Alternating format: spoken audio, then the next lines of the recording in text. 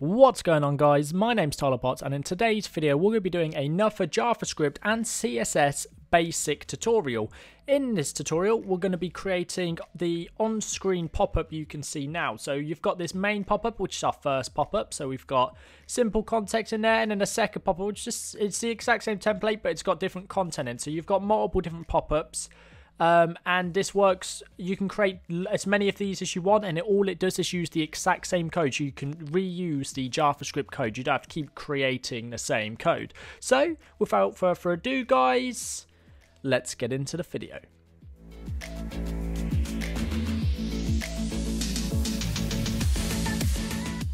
Okay everyone, so we're going to be starting off with a simple folder with the index.html, main.css and main.javascript files.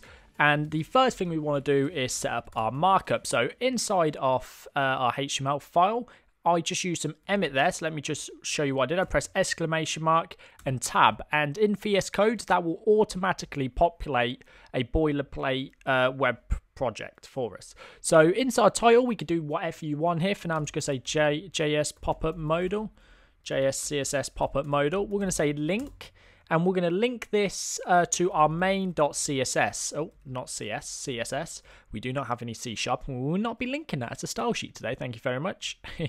um, and that's cool. So we've got that, and down below, we're going to set up our main .js uh, script. So we'll hook that up. So now they're both linked in, and when we write things in here, it should now work inside of our browser. The next thing we're going to do is I'm going to create just a simple page wrapper, and I'm going to add two buttons in there. So we're going to say button dot large, and then we're going to give them a a pop-up button class, which is going to be the class we search for all the bottom buttons with. And we're going to give that two. So now in here, I'm just going to call this main pop-up. And in the second one, I'm just going to say secondary pop-up. Now, we need a couple extra elements inside of this. So we've obviously got just a standard button here, but we need something that tells us what pop-up we need to open. So I'm just going to say data target is equal to, and then we pass through a query, a um, query selector string in here. So we're going to say hashtag target. Um, and to be fair, that's not right. We're going to put hashtag pop-up main. You can put whatever you want here, but it needs to correspond to the ID or the class of what pop-up you're using. So if we're using a hash, that's a um, ID, and if we're using a dot, that's a class. So in here, I'm just going to say pop-up of secondary. And these are the two ones we're selecting.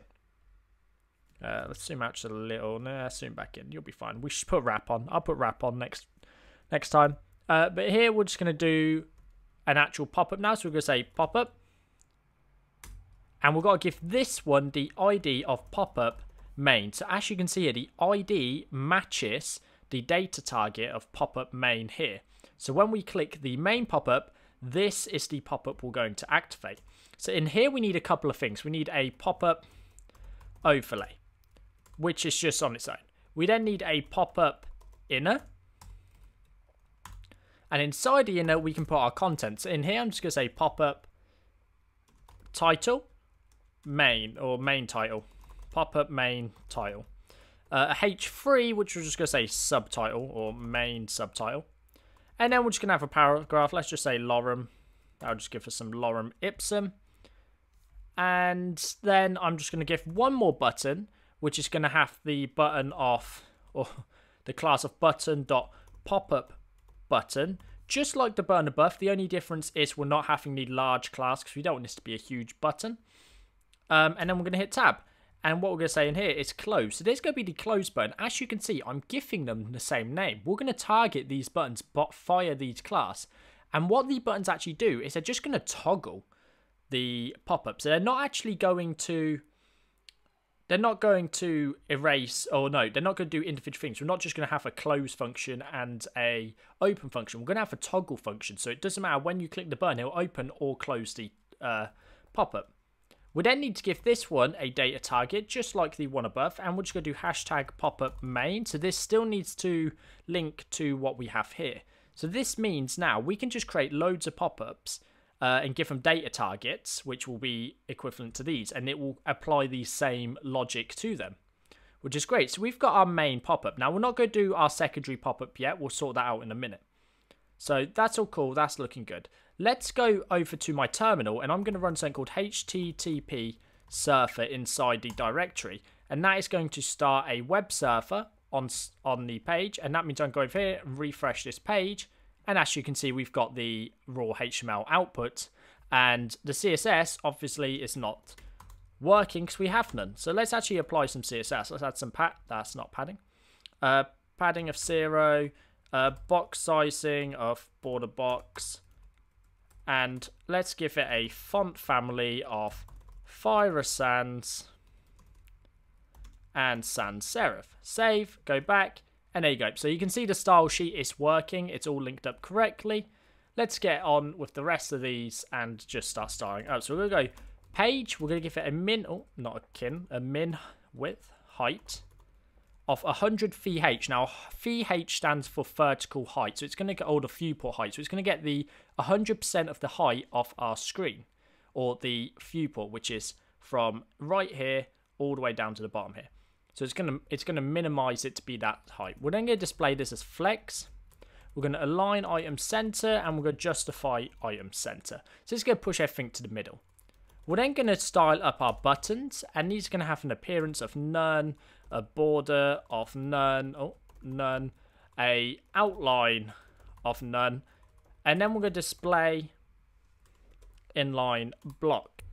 Once we've done inline block, we're just going to give this a background color of FE4880 to give it a nice pink. Uh, we're going to give it a color of white, um, a font size of 20 pixels, a padding of 1050, oh, sorry, a padding of 10 pixels and 15 pixels, a border radius of 8 pixels, a box shadow to make it look like it's sitting off the page slightly, Again, you can style your buttons however you want. This is just going over some standard styling I would uh, go about doing this. And if it's 0 pixels on the left and 15 pixels on the left and right, sorry. So there we go.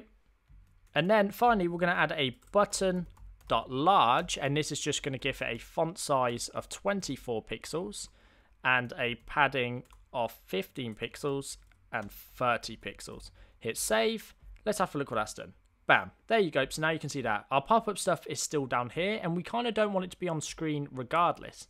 Um, but we have our pop-ups nice and styled on our screen. Um, so let's style the pop-up next.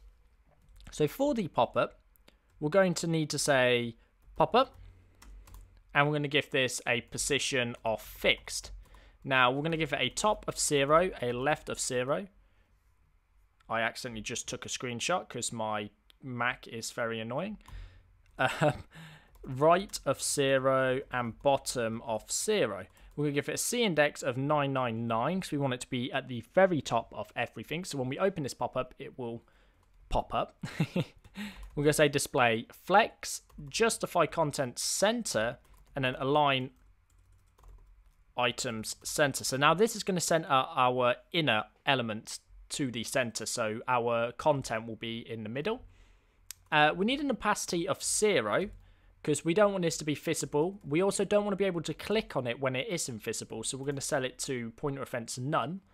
And then we're going to give it a transition of 0.4 seconds. That's how long it's going to take to go from opacity 0 to opacity 1. So we're going to say popper dot is active. So this is the class we're going to toggle on our pop-up to get it to appear. And all we're going to say is opacity 1, pointer events, all. And now, we're, uh, also, we're going to pass here opacity because it's the only thing we're transitioning from. And now that will allow us to toggle our thing. So if we go back and we refresh, shift refresh because it'll get rid of my, it'll clear my cache on my CSS. As you can see, if I scroll down, there is nothing there because the pop-up is now overlaying on our screen, but it's invisible. So you can see here, if we turn off the opacity, you can see it now appears on screen. Let's turn that back off. Let's close that. And let's go. Let's get the rest of the sign done. So we now need to say pop-up hyphen overlay. So there's our overlay. We need to give it a position of absolute. We need to give it a top of zero, a left of zero, a right of zero, a bottom of 0, and a Z index of 0. A lot of zeros, I know. We need to give it a background color of RGBA and that. Again, style is, I say you have to, you don't have to. You can give it whatever styling you want. The main elements are here. Um, if you want to add that, and obviously this allows it to come up.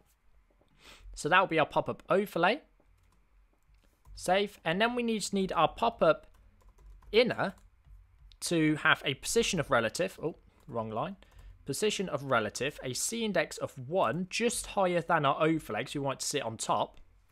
We then want to give it a max width of whatever value you want. I'm going to choose 600. I'm going to give it a padding of 50 pixels and 30 pixels. A background color of white. A border radius of 16 pixels. And finally, a box shadow of 0 pixels, 3 pixels, 6 pixels, RGBA, and that there, just to make it feel like it's sat off the screen again. And then we're just going to say pop-up H2, and I'm going to say color. It's going to be 313131. Font size is going to be 28 pixels. Font style, font size, please. And our font weight is going to be 600. There you go. Now we're going to get our pop-up H3. We're going to give this a color of 8888. We're going to give this a font size of 20 pixels. And finally, a font weight of 600, just like the above. But we're going to give this one a margin bottom of 30 pixels to push the button down, or the paragraphs down. And finally, we're going to get the pop-up paragraphs. And we're just going to say color is equal to 666. Uh, font size is equal to 16 pixels, which it should be by default anyway, but we'll just make sure it is. Font weight of, oh, sorry, that should be 400, not 600. And a margin bottom of 15 pixels. We then want the last one of these to have last of type. And we want it to have a margin bottom of 30 pixels. because we want it to push it right down the button. And that should have styled our pop-up. But we can't see it because we need the class of is active. So if we add that class of is active quickly, you can see this is what it looks like which is perfect. But now we need to toggle this. Also, that background, that uh, overlay is not dark enough. So let's go to the overlay and I'm just going to say 0.5, refresh. There you go. Now it looks like something's popped up on, on our screen. So now we need to be able to close and open it. So let's go in here and let's remove the is active state. Let's go into our main JS, and now it's time to do the fun stuff. So we're going to say window.onload and we're going to say, we're just going to use an arrow function and we're going to basically get a constant of all our pop-up buttons. We're going to set it equal to document dot query selector all and we're going to do dot pop-up hyphen button. So if we go back to our HTML, you can see all our buttons have pop-up button. And that's what we're targeting here. We're getting all of them.